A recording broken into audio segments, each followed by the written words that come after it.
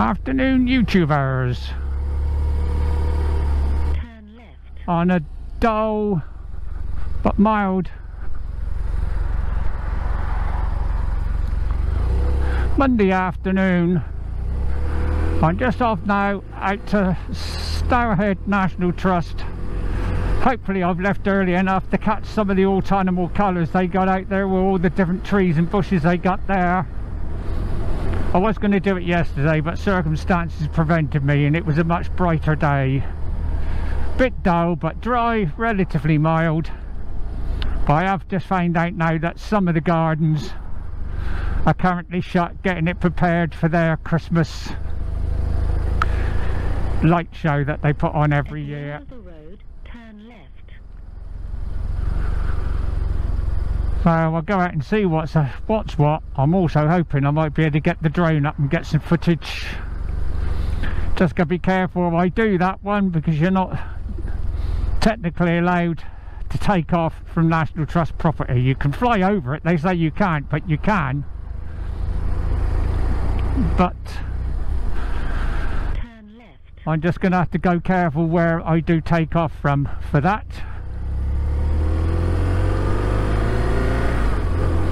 Saying just under an hour, which is I think is about right.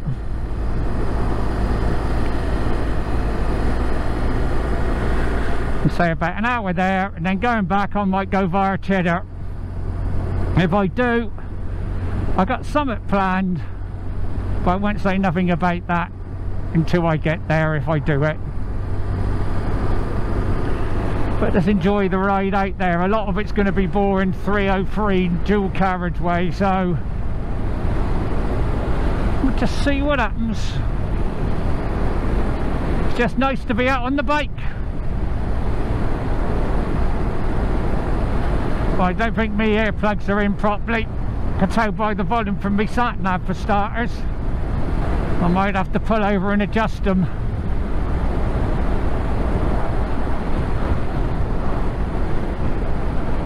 I'm getting quite a bit of wind noise unfortunately in my ears which isn't no good.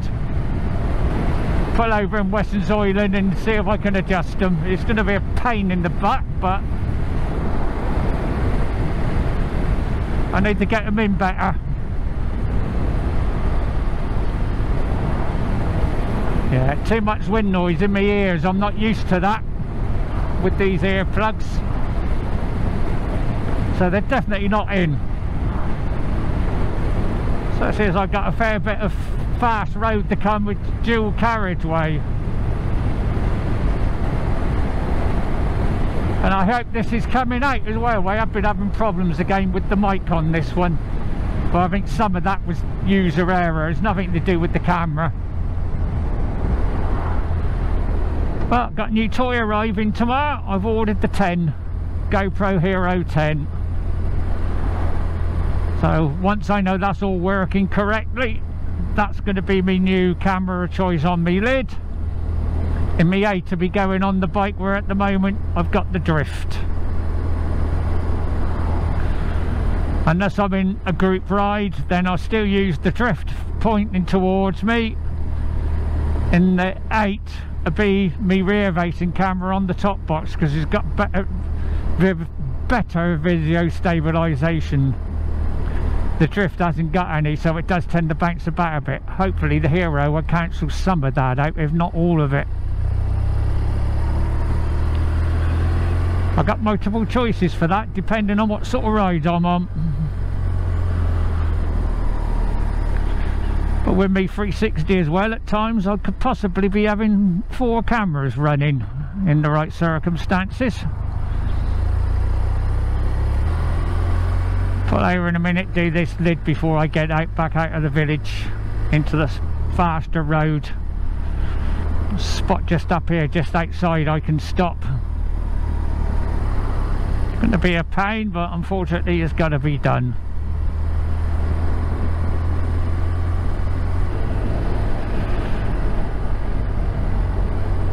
It's got to stop there, but it is a bit rough, isn't it? Twat. What did he gain?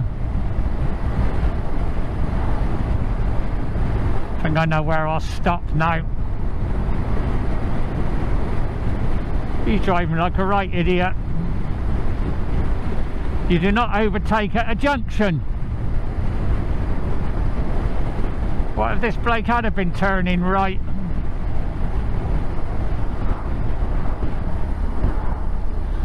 This is where it, sat nav can get you confused. If you don't know where you're going, which I do, you would have gone left here, but it's not, it's right and then left. Hmm, rather busy along here today. Wasn't expecting this.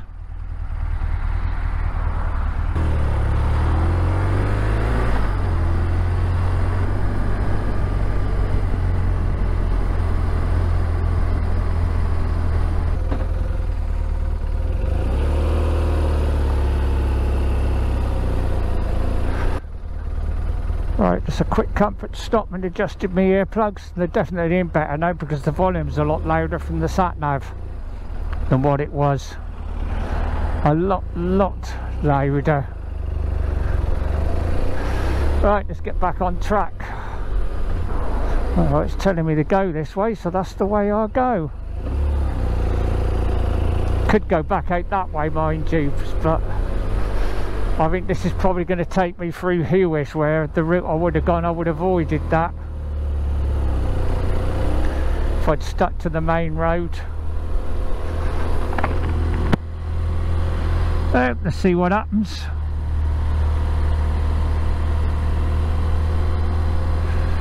And hope this is coming out alright I just realised I turned the GoPro on with voice with the visor open and sometimes if my mic's not connected properly it'll still work. But I think it's okay. Just take a chance on it. It'll be what it'll be. Put me up by Muxley yeah going through Hewish. Still taking me to where I want to go but not the route I would have took.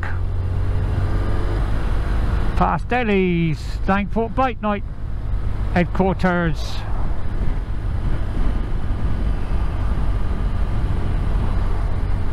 They're shut at the moment because of changing hands. I think the daughter is taken over from the former landlady who's retired. Well I know me right earplugs definitely in properly I'm not certain about the left one but I think it's alright through Pibsbury. See the route I was taking I would have avoided this bit at the 372. I think it is a better route. Long time since I've come this way so I've forgotten exactly what the road's like. Which is good, it gives me practice on roads I'm not used to doing. Six miles on here now be about just under 10 minutes with the speed limits you got along it because it's not all national. A lot of crud on the road so I'll have to watch that. It's mainly dry so it shouldn't cause too many problems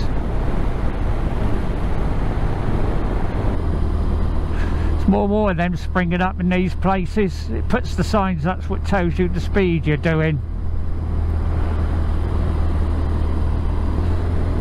Going Crest, Somerset. So I take sometimes coming back from the 303 brings you out where that turning on the right was then through Longload. I do sometimes use that route But today, if I think I've got time, I'm going via Cheddar. Swear I would have come out if I'd done the route I normally do. Looks a bit misty out here still. Nice enjoyable ride so far on this section.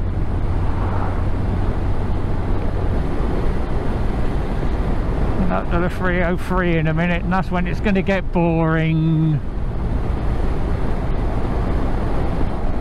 At least the cars in front aren't too slow.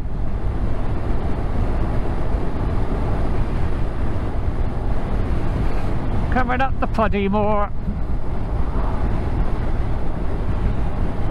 I always take it careful here. I was going to say I take it steady here because this is one area where it's known to have a lot of accidents. This junction, this roundabout. Don't know why they do, but you do for some reason.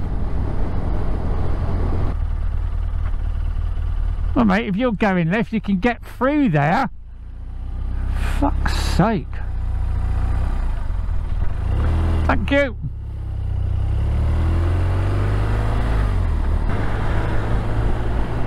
Get past these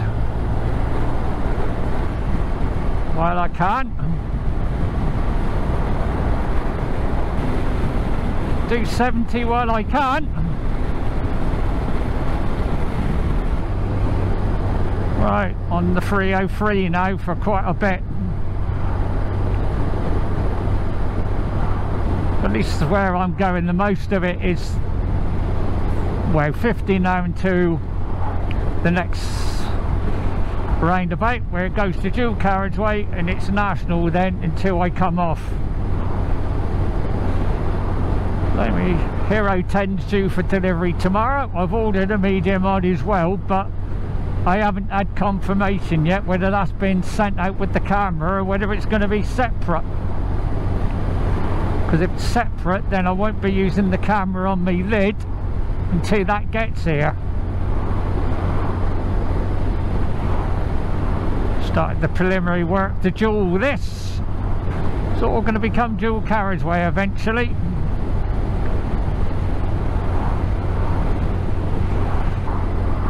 Don't know whether that camera's still active. I don't think it is. But Alton won't want to take a chance. Rather dull and grey and misty out here.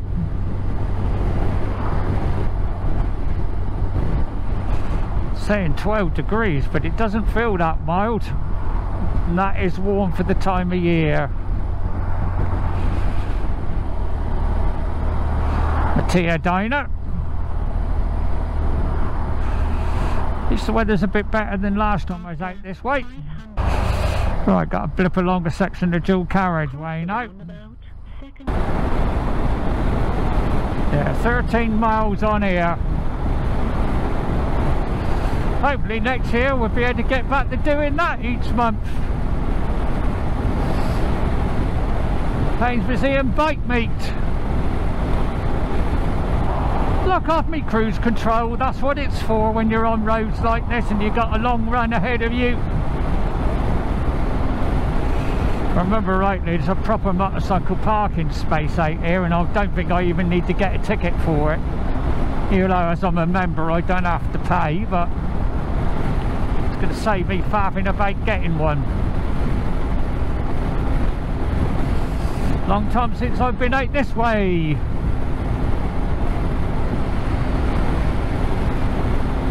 Blue skies, lovely blue skies.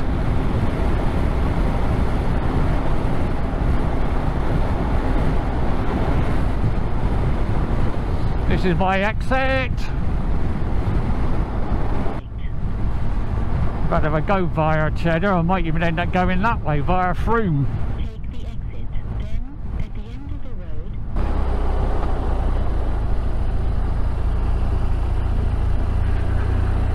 turn Now, I might very well be turning left when I come out today. Because I'll, I'll be a Frome will get me to where I want to go. I'll put it in the sat nav anyway. And it's follow the signposts up here. Right, I'm here. Hello, Mr. Postman. Right, find the parking. I know there's a proper motorcycle park here somewhere. Hmm, looks quite busy. Wasn't expecting it to be this busy, but there we go. There's the motorcycle one up in the corner. They're quite busy. Oh.